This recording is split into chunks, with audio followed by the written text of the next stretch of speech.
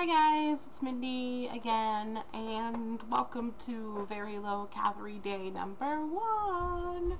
Um, so yesterday was my loading day number two, and let me tell you, I ate a lot of crap.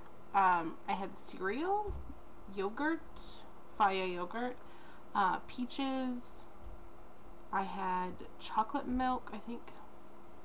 I had ribs, I had bratwurst, no bun, um, I had a couple potato chips. I had ice cream. I had cinnamon rolls. I had brownies.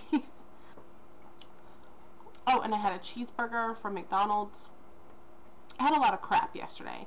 But yet somehow, magically, miraculously, I don't know, I was down a pound today. I was at 220.6. Yeah down one whole pound on loading day number two. I, I don't know what happened. So this morning I worked out. I did level two of the Jillian Michaels 30 day shred video and I had a like quarter cup of grapefruit juice instead of having fruit because I never eat my fruit so I figured I'll eat I'll drink a quarter cup of grapefruit juice and it doesn't have any um, anything besides grapefruit juice that's it's 100% grapefruit juice. So I had that for breakfast um, after my workout and then for lunch I made um, like a coconut curry type thing. I used 97% uh, ground lean ground beef, a portobello mushroom cap, and I look really shiny right here a portobello mushroom cap and a cucumber. And I cut it all up put it in a pan and sauteed it with some coriander um, ground mustard salt pepper and some Tony whatever chickaroni I don't know what his name is Tony something Creole seasoning. And then I just took the coconut milk the Thai Asian kitchen coconut milk and did like three turns around the pan. And I cooked that and it was delicious. Put some hot sauce on the top because I love hot sauce. And how much calorie? There's zero calories in one teaspoon and I use about like a quarter teaspoon. I just kind of like shake it around and stir it in because I don't know why. I like hot sauce. So I'm still a little sick. And it's getting really annoying because I think I'm going to use my neti pot because I watched Miss HCG Girls um, vlog this morning and she was talking about her neti pot and it kind of made me miss my neti pot. So I might have to use a neti pot.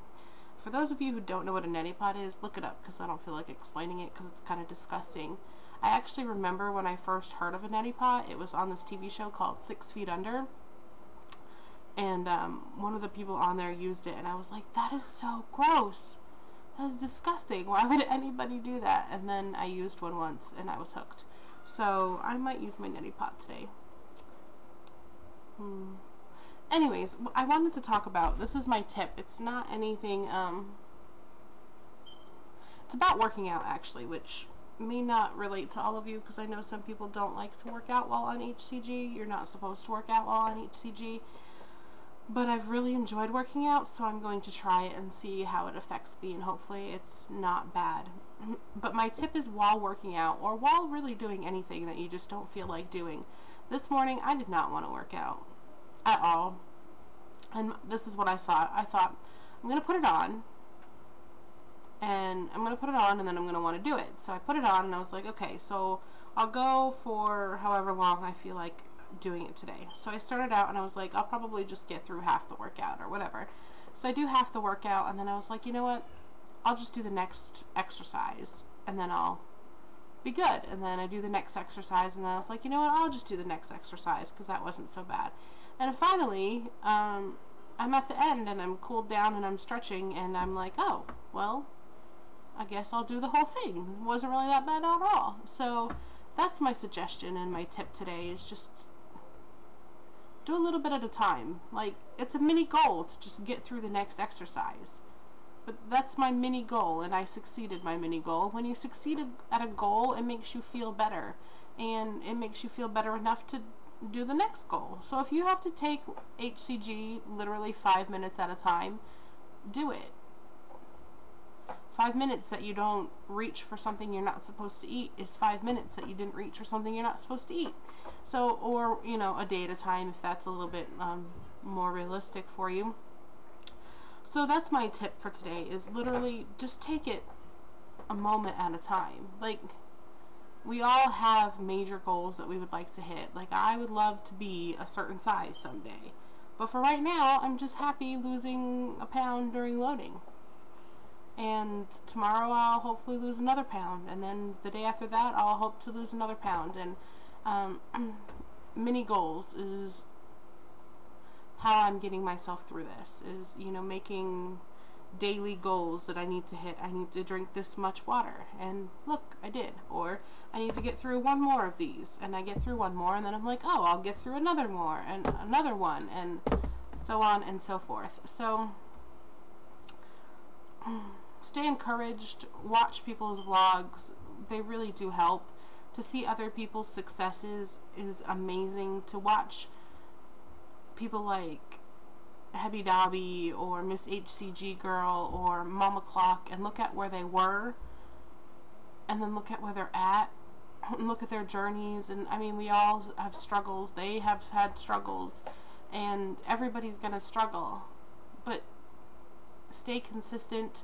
Make many goals. Remember that you are important this is important taking care of your taking care of yourself is important and even if you aren't doing HCG right now, if you're on a break or whatever, just do what you can. You can always make choices. You can always make better choices.